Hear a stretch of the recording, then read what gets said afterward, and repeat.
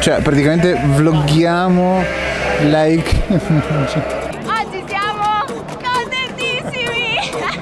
Siamo con il gruppo di testa qui la Ghiaia. È un po' grana grossa, volano. Sassico conferma che siamo alla testa della corsa. Siamo con il nostro amico Pasquale. Ale, ale Marco! Dai Marco!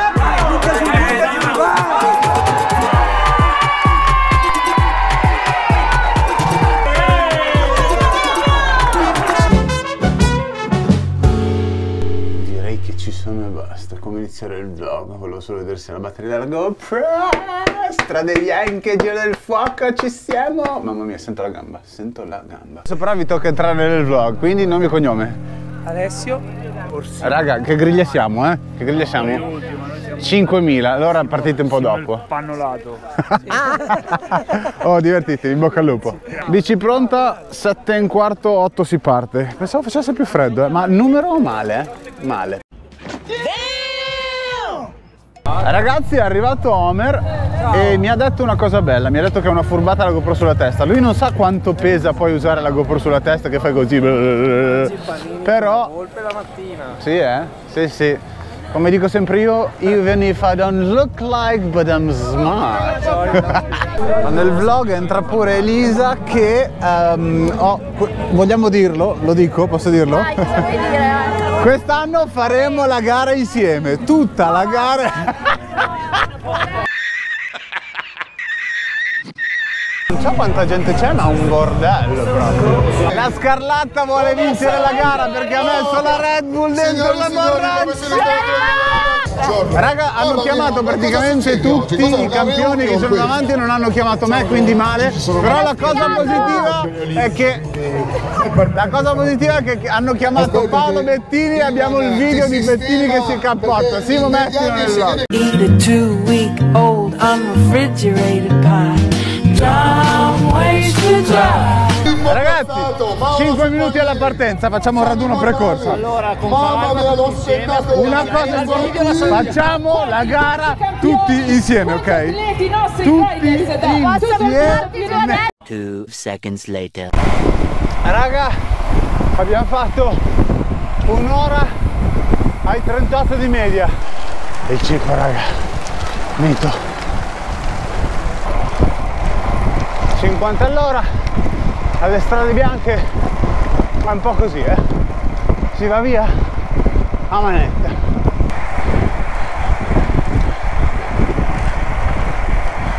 Non so quanti tratti abbiamo fatto, però abbiamo fatto 50 ne manca tipo boh 90 non lo so. Siamo con il gruppo di testa qui la ghiaia.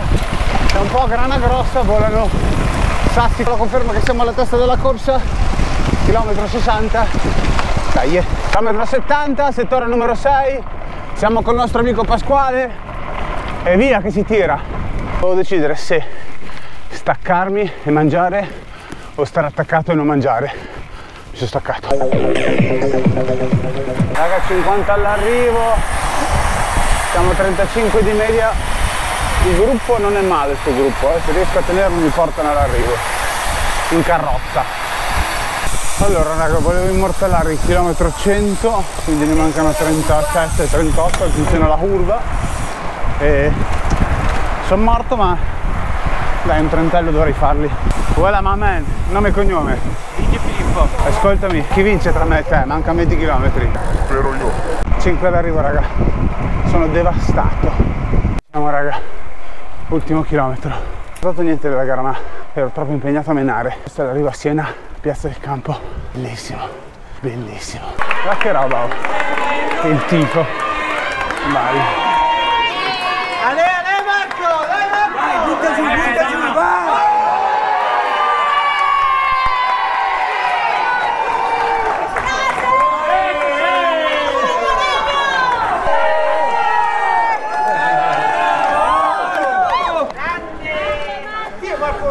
Ma arriva le strade bianche, una roba bellissima. Non me la ricordavo così bella. Ultima stacca- staccata destra. Bam! Raga. Che spettacolo è. Me la metti al collo? Grazie. Yoo! Finisher! Raga siamo arrivati Un po' stanco, però sono andato molto meglio del previsto.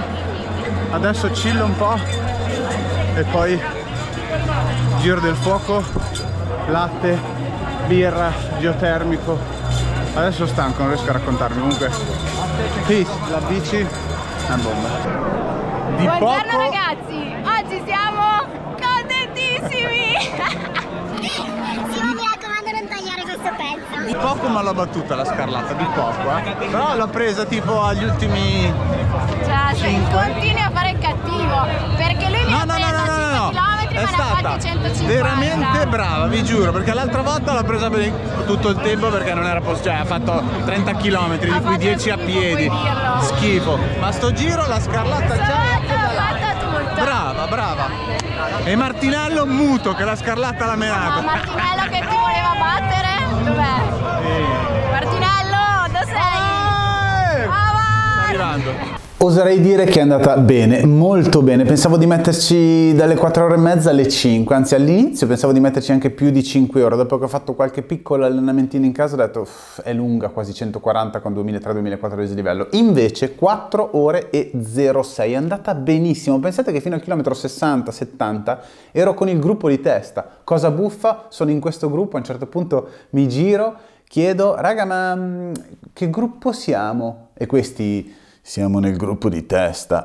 Io ho detto scusate raga, non lo sapevo, non me ne ero accorto perché comunque ho limato tanto per arrivare fino a lì con i primi amatori che logicamente vanno forte, perché il primo comunque mi ha dato una quindicina di minuti abbondanti, però, però me la sono cavata bene. Cosa ho fatto per arrivare lì? Beh, ve l'ho già detto, non serve fare una marea di chilometri, non serve fare 6 ore tutti i giorni. Ho pedalato mm, un po' nelle settimane precedenti, facendo uno o due giri alla settimana, anche tre alle volte, con un allenamento magari un po' intenso aerobico, gli altri giusto per pedalare e attivare il nostro corpo ad essere efficiente ed efficace quando si pedala. Nell'ultima settimana un filino intensificato, ma veramente ho fatto un'ora al giorno, due ore al giorno al massimo, a parte il sabato prima, nel quale ho fatto 120 con 1300 di dislivello, però facendo un po' di lavoro aerobico, facendo dei giorni di recupero, perché comunque ho fatto dei giorni a pedalare proprio agile, agile, un'orettina, e ehm, il giorno centrale della settimana caricando un po', perché ho fatto un giorno selvino, un giorno sono andato a fare un bel giro qui in Val d'Arda dove ho un po' spinto facendo un po' di sottosoglia, un po' di fondo aerobico, un po' di fondo medio, e, e poi molto importante, quindi questo è un tips che do a chi ci segue e vuole fare questo tipo di eventi, ho mangiato molto e molto bene, inteso come il carico di, ehm, di- di energia che ho dato al mio corpo prima della gara, significa il venerdì e il sabato, molto molto importante, poi la colazione della mattina è importante e l'alimentazione in gara è importante, ma il carico che fate prima della gara è molto molto importante, quindi mangiate della pasta, mangiate le verdure, mangiate le proteine, non abbuffatevi ma mangiate bene ai pasti e ho bevuto tanto, a parte il gin tonic, ho bevuto tanta acqua perché l'acqua è fonte di vita e l'acqua vi aiuterà tantissimo. Prima di pensare all'integrazione, andate ad alimentarvi bene, andate a mangiare bene e a bere dell'acqua nei giorni precedenti alla competizione. L'idratazione è lì che viene fuori. Poi è chiaro, l'integrazione vi aiuta è un'integrazione, ma prima la base deve essere fatta. Comunque, bellissimo, ho incontrato il Cipo, eh, che è stato insomma sempre il Cipo, è sempre il Cipo, ho incontrato Pippo Pozzato con cui mi ero scannato nel 2015 appunto in questa gara assieme ai professionisti, ho, ho sentito che c'era anche Paolo Bettini, Simo metti cosa è successo a Bettini. Eat a two week old unrefrigerated pie. Don't waste your drive. E, e quindi ho incontrato tanta gente, mi sono divertito, il team è andato bene perché anche Omar eh, ha finito in meno di 5 ore, ha fatto una, una- una bella prestazione con la sua, con la sua gravel, Omar, che è, Omar Martinello che è un ragazzo molto gravel, fa bikepacking, avventura, seguitelo sui social come avete visto, e Elisa Scarlatta che eh, comunque si è fatta la corta ma l'ha pedalata, ha pedalato bene e ci siamo poi incrociati appunto all'arrivo. Quindi questa è stata la gran fondo, ma andiamo a vedere il giorno dopo il giro del fuoco che cosa ci ha portati, perché questo è molto molto importante. Ce li avete tre minuti? Tre minuti, per favore, vi chiedo solo tre minuti del vostro tempo. Se siete qui è perché questo video comunque vi è piaciuto, se siete qui è perché Marco Aurelio Fontana comunque vi piace per il tipo di personaggio che è, perché va in bici, perché non lo so.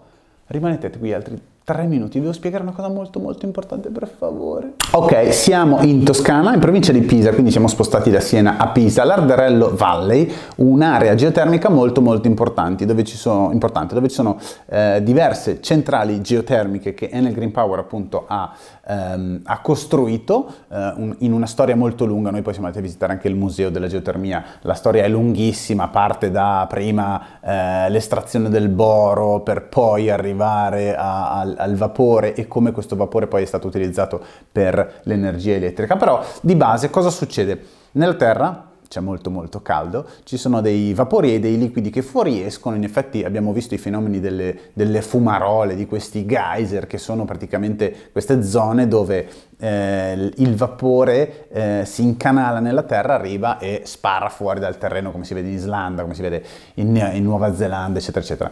Eh, questi eh, fanno, fanno, sì eh, che, che, l'uomo con la testa dice ok, qui eh, c'è molto caldo, raga, cosa facciamo? Con dei pozzi di estrazione viene ehm, preso questo, questo, vapore, questi liquidi eh, vengono messi in una, ve lo spiego come l'ho capito io, eh, vengono messi in una mh, turbina che quindi eh, produce tramite poi un, un, un alternatore una, l'energia eh, elettrica, ok? Quindi questo più o meno è quello che sappiamo tutti. Eh, calore, vapore, liquidi, turbina, alternatore, energia elettrica che poi va ad essere utilizzata in tutto il territorio eh, limitrofo. Ma dov'è che veramente la geotermia ha una marcia in più? Dov'è che io mi sono stupito seguendo questa eh, due giorni? Mi sono stupito perché ehm, dai, dai, da questi soffioni poi siamo passati a visitare eh, ad esempio un, un, un'azienda eh, agricola, siamo passati a visitare un birrificio. L'ingrediente principale è il malto già macinato. Nice. Siamo passati a, a, visitare queste torri di raffreddamento perché? Perché la cosa più bella che mi è successa, ve l'ho detto anche un po' appunto già su Instagram, è che l'energia geotermica significa coltivare il territorio, non estrarre, non stiamo estraendo, prelevando da un serbatoio gigante qualcosa che poi va a terminare, quindi si cerca un altro serbatoio, ma si va a utilizzare un, un'energia che è all'interno della Terra, che è quasi inesauribile, per produrre energia elettrica e con tutto lo scarto, quindi per esempio i, i, vapori di scarto sono utilizzati per il teleriscaldamento che va a eh, riscaldare tipo 10.000 utenze eh, nel, nel, nella zona della, vicino, vicino, alle centrali, no? oppure come abbiamo visto, Simo mette un po' di immagini anche divertenti all'interno di questo caseificio eh, il vapore viene utilizzato per eh, trasformare il latte di queste pecore in, in, formaggio. Com'è che ha fatto la scarlata? Fammi vedere. Ladies and gentlemen, from Biala, Lisa Scarlata, lei ci farà vedere come si aspetta, aspetta. munge una... Ti stai spogliando per i nostri viewer? malissimo.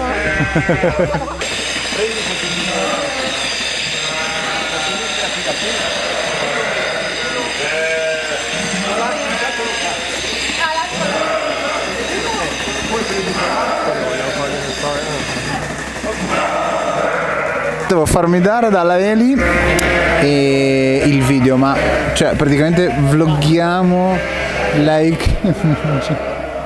Ora non vi, non, non vi, spiego tutti i processi produttivi che succedono all'interno di questa eh, azienda perché sono un po' complessi, un po' lunghi magari poi il vlog durerebbe una vita, però di base eh, è, è fico come eh, non solo c'è il teleriscaldamento quindi un, un, un'utenza privata eh, beneficia di questa struttura geotermica, ma anche un'azienda agricola, un'azienda produttiva ne, produ- ne, ne, ne, beneficia ancora di più perché in questo caso eh, viene utilizzato appunto il calore del vapore per eh, trasformare il latte in formaggio.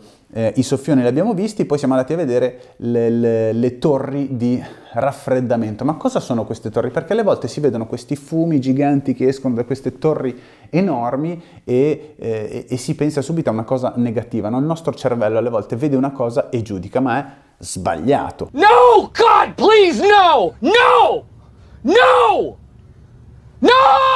Non sono fumi ragazzi, quello è vapore acqueo che viene rimandato eh, nell'atmosfera dopo che è stato eh, pulito, diciamo. Io cerco di parlare un po' in modo, primo, semplice, secondo quello che ho capito io, no? Perché ci sono tante, tante sfaccettature. Però di base cosa succede?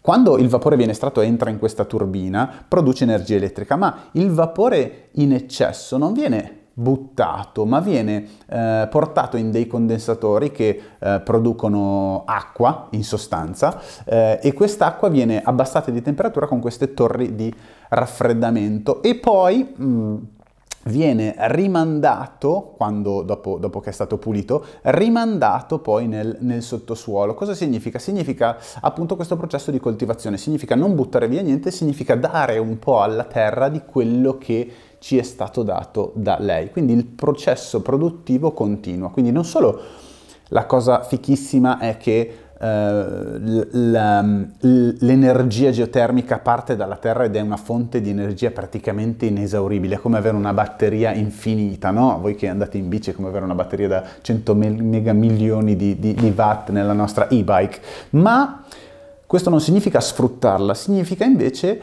comunque coltivarla, quindi dando indietro parte del processo produttivo di scarto, il ciclo continua e noi continuiamo a beneficiare di questa, mh, di questa energia. Ci sono mille cose che vorrei dirvi, però so che vloggare non è facile, portarvi dei contenuti così delicati non è facile. Spero che però il messaggio sia arrivato, spero che il Giro del Fuoco che abbiamo fatto nel Green Power vi abbia portato qualcosa di culturalmente importante e interessante. Eh, abbiamo visto l'anno scorso a Lombardia il Giro dell'Acqua, dove quindi abbiamo conosciuto come l'acqua viene utilizzata per ehm, produrre energia elettrica.